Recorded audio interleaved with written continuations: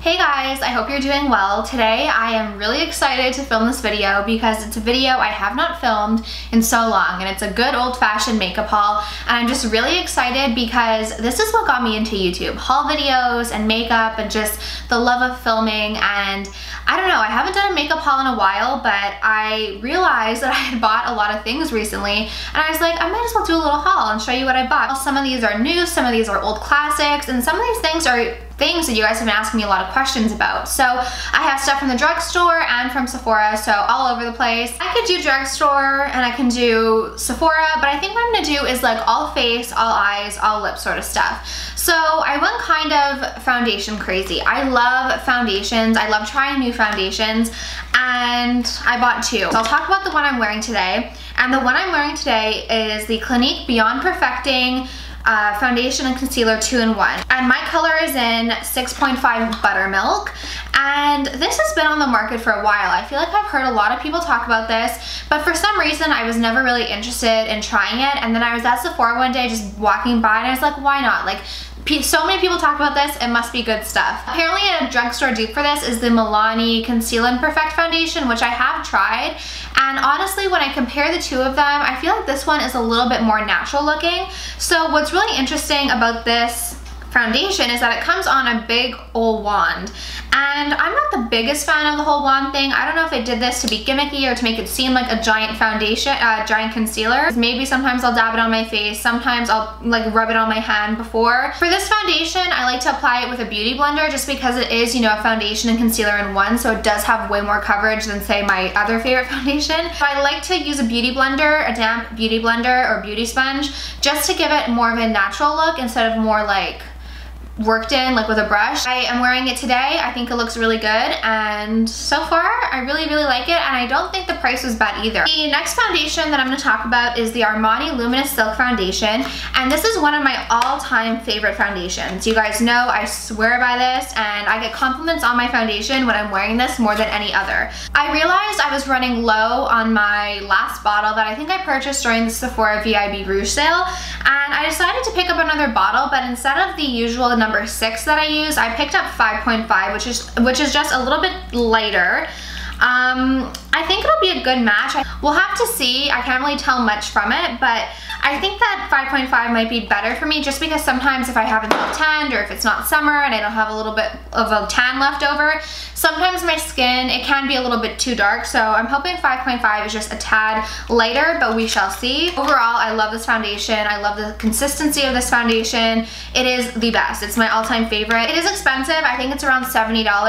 But if you don't want to spend the $70 on this, a similar one from the drugstore is the L'Oreal Pro Glow, Infallible Pro Glow. I do like that one as well. Next, we'll move on to something that I'm so excited about, and this is the Bobbi Brown Vitamin Enriched Face Base. And this has shea butter, vitamin C, and E. So I, sometimes if you're a YouTuber, I'm sure you watch some of your old videos and you look at them and you're like, I look so good there. I look way better there than I do now. What was I doing different? And so I started doing that because my skin was going crazy. I was having big outbreaks, you guys know, but I found a miracle product. My skin is like finally under control. But I was looking at old videos and I was like, what was I using at that time when my skin looked so good? And the only thing I could think of that I had stopped using that maybe made a difference was the Bobbi Brown Vitamin Enriched Face Base. I have a little left over in my first pot, but I used this all summer. My skin looked so good, and so I decided to repurchase this. This is not a cheap product. This is around, I think, $74, so it's not a cheap product, but I really do love it. And the way I like to use it is I use it before my makeup, after I wash my face, almost in place of a moisturizer. For my skin, if I use a moisturizer on top of this, I feel like it might be a little bit too heavy. So I like to use this in the morning in place of like a moisturizer. Um, if my skin's really dry, I'll use a moisturizer. It's incredible. I don't know if it's the vitamins in it, or what, but it just makes my skin feel quenched and it makes everything applies smoother and ever since I started using it again, my makeup I feel has looked better and it's just a great, great product. So it is expensive, but this is my second time buying it and I definitely would recommend it. If you, I know Sephora gives free samples, but considering that the tub that they give you a free sample in, like it's not like a pump, like people dig their fingers in to try it, I wouldn't get a sample from Sephora unless it's like in a packet because people probably like people have germs like you don't want to get your you don't want to put that on your face the next thing i want to talk about are two bronzers i've just been buying doubles i swear so the first thing is from physicians formula and i have seen so many ads for this and i was at walmart yesterday and it was a really good day because chicken was on sale. chicken breasts were on sale. So I was at Walmart and I wanted to check out the drugstore uh, like area, the makeup area, and I love drugstore makeup. I really love finding gems at the drugstore. I don't know, it's like one of my favorite things. And I've heard so many people talk about Physicians Formula, but it's one of those brands that it's kind of hard for me because I know it's a drugstore brand, so it's a little cheaper than Sephora, but it is expensive on the drugstore side. Like this bronzer was $18 at Walmart. So the items are still kind of pricey and in my mind I'm like if I'm paying $18 for a bronzer from Walmart why don't I just go buy a you know a $30 bronzer from Sephora but I really wanted to try it and you got they just got me with the packaging um, it says Muru, Muru Muru Butter Bronzer, Skin Loving Brazilian Bronzer, Ultra Rich Bronzer, delivers a tropical glow. It says it's ultra luxurious, infused with butter, like a Muru Muru butter, and delivers a radiant Brazilian goddess glow. Oh my god, I can't talk. And um, it says, incredibly creamy and soft texture combines the best features of a powder and cream bronzer to, to deliver a lit from within glow. I used it today. Um, it also comes with a really nice mirror and it comes with a unique sponge applicator. I didn't use this um, for like all over my face, but what I did use it for was to contour my nose because I'm not the type of person that does like a heavy contour every day, but I do like to contour my nose just to give it a little bit of definition. So, um, and I really like the way it looks. I'm gonna be honest, like, I'm really happy with how my skin looks today, with how my, like the bronzer looks. It just gives a really nice finish, to be honest. Like it gives a really beautiful finish, not too heavy, um, and it's nice because the way like I would do it, if you guys want to see it, well I just did a get ready with me, but I, I have so many new products now. Um, the way I did it is just kind of went like this and then went bloop bloop bloop and it like blended it out and it was great.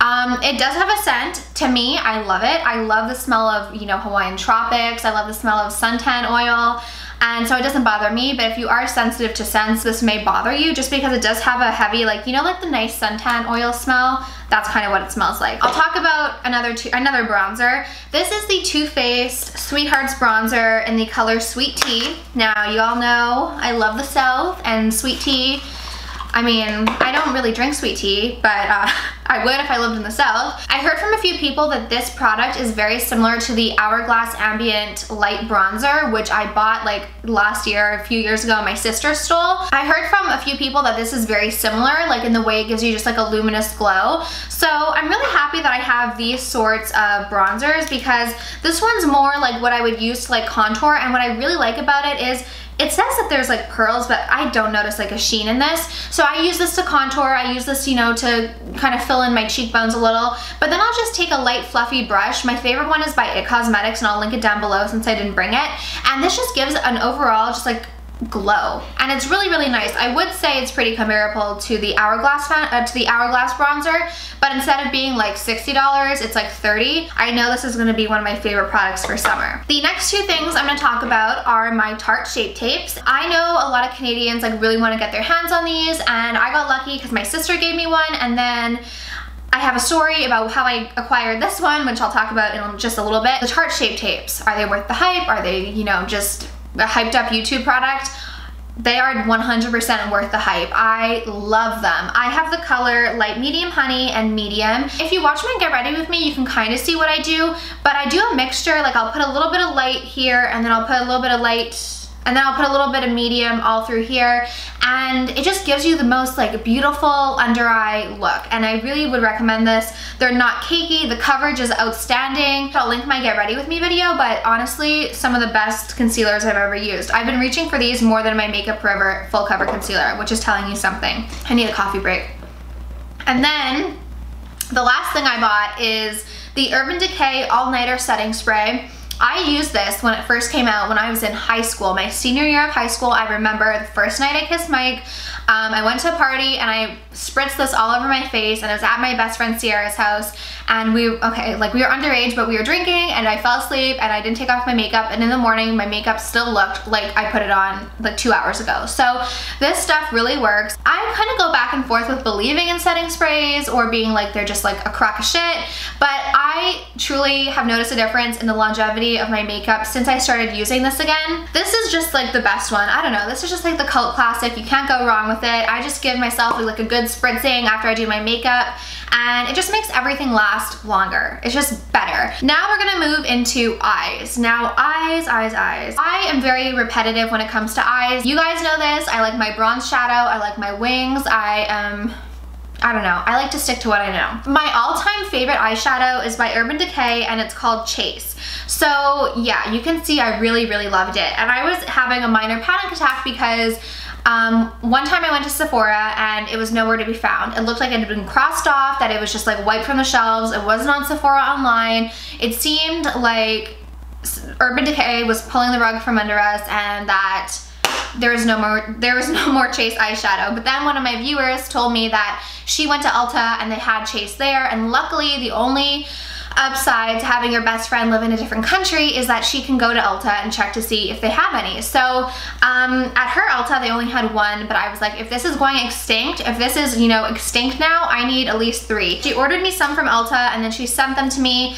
And for Ulta, like to get free shipping or something, you needed to spend a certain amount. So that's how I ended up getting this. Sierra was the best and she picked me up three Chase eyeshadows by Urban Decay. So what I'm wearing today, these are just the best bronze eyeshadows ever run to Ulta. And if you can't run, then get someone to drive you to Ulta or order online. I'll leave a link down below because this is the best bronze eyeshadow. I don't mess around, okay? Like this is just the best bronze eyeshadow. It's not orangey. In my opinion, so many bronze eyeshadows can look orangey or they can just look gross on your eyelids, but this just looks amazing all the time. The next two things I want to show you are some brow products. Now, as you guys know, I did get my eyebrows microbladed and I am very happy with my results.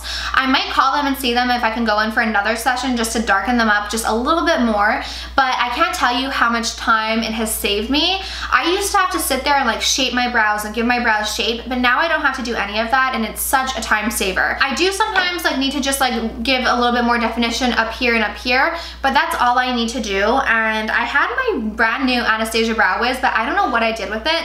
So I picked up the L'Oreal Brow Stylist Definer in dark brunette. This is my sister's favorite. She always talks about it and it's really good so far. I can't complain. Um, I got a comment on one of my videos that like you guys were close up in and she was like, do you regret getting your brows microbladed? Like it doesn't look like you had anything done. It just looks like your brows are full of hair. And I'm like, that's the exact, like that's exactly the point of getting your brows microbladed. If I came out looking like a chola with tattooed eyebrows, that would be a problem, but that was a really good compliment when she said my brows just look like they're full of hair. The next thing I got is this Brow Stylist Plumper by L'Oreal in the color medium brown, no, medium to dark. And this is just a, I actually saw this in one of Christina Brawley's video, but it's just a little lash, I don't know what, it's a brow gel mascara. Um, I have the, thought I had the packaging. This says, achieve effortlessly full brows with the L'Oreal Paris Brow Stylist Plumper. This fiber-infused brow gel mascara allows you to fill in and set for tinted thicker brows to last all day. I used it today and it did give color and I would recommend it so far. And I think it was like under $10 so you can't really go wrong. L'Oreal sent me these and um, I think they sent it to promote their new Voluminous primer. Um, of course L'Oreal Voluminous is like an all-time classic. This is the carbon black one but they did send the primer and I have to say I really do like the primer.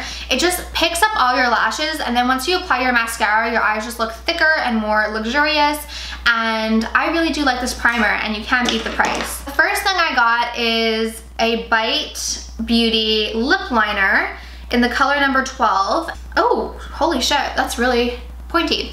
Um, when I heard that Bite was coming out with lip liners, I was really excited because I, oh my god, this I'm gonna love. Toni! And I don't know if you can see there, but this is like beautiful. And it's so creamy. So I was really excited when Bite announced that they were gonna be coming out with lip pencils because the Bite Beauty Amuse Bouche lipsticks are some of my all-time favorite lipsticks and I knew that these would just be as creamy and delicious and they were. So I got number 12. I feel like I'm gonna develop an addiction where I want all of them. Speaking of lip liners, I needed a good pencil sharpener. I know like it's one of those things that's annoying to buy, but I've heard so many good things about the Urban Decay Grindhouse. And I felt like I really needed a pencil sharpener um, that I could bring with me because all the pencil sharpeners I have now are the ones that don't have like a a lid on them. So if I want to go anywhere like if I need to sharpen a pencil I need to be over the garbage or over a bag or like over a paper towel or something. So um, I think it was Marnie Miss Gold Girl who always talks about the Urban Decay Grindhouse. And so yeah I ended up getting it. I think it was like around $12 but I'm sure I'll have this forever permitting I don't lose it. And apparently it does a really amazing job of sharpening your pencils which I will I'm sure you're all like really looking forward to finding out. And then the last thing I want to talk about is a lipstick and this is by Bare Minerals. And I have to thank my friend Megan, I'll leave her channel down below for talking about these all the time because she would always tell me, girl, you need to try these, I don't know what they're called, matte the matte lipsticks.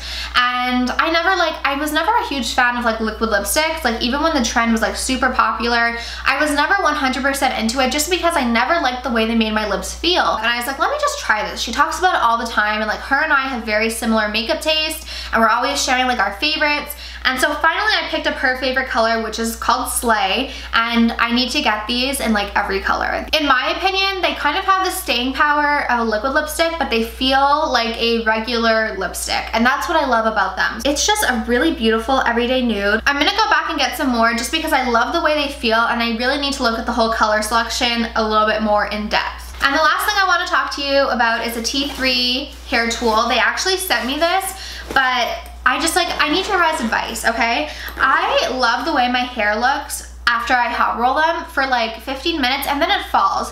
And I'm not saying I don't like the way it looks now because I like it because it gives my hair volume um, without being like beach waves or without being, because honestly for me, if my hair's not wavy, if I don't curl it with my Hot Tools curling iron, it's like straight, like pin straight. So I like the way this has like still gives me some volume, almost like looks a little bit like a blowout and it's easy. Like once you get the hang of it, it's easy. So I'll pull my hair out and I never really do it on freshly washed hair, but I can't get them to stay very well. Like they always fall no matter if I use a ton of hairspray, no matter like how long I let them heat up. So I don't know, what would you guys suggest? These are the first hot rollers that I've tried that I'm actually able to use successfully because I remember as a kid, my mom, like I would always try to use my mom's hot rollers and they never worked and companies would send me hot rollers and they never really worked, but these are the first ones that I can actually use and that I feel like they work. Like when my hair comes out, they look super super like voluminous and great. And my hair still does have volume now, like compared to how it normally is when it's straight.